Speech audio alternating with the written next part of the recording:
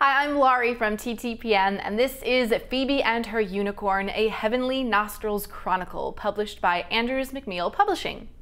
It's a 224 page comic book collection of the Heavenly Nostrils comic strip by Dana Simpson. The comic follows the adventures of nine year old Phoebe and her best friend and unicorn, Marigold Heavenly Nostrils. They met one day when Phoebe was skipping rocks and accidentally hit the unicorn in the face. The unicorn then granted Phoebe one wish, and Phoebe wished for the unicorn to be her best friend. The back of the book has a more to explore section with different unicorn themed activities for kids to complete, including learning to draw Phoebe and Marigold Heavenly Nostrils.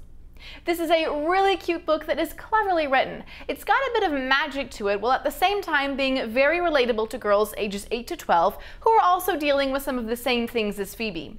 Because it's written in comic strip style, it's a great way to get reluctant readers interested in reading. To see more great books like this every day, subscribe to our YouTube channel and visit TTPM to find the best online prices and availability.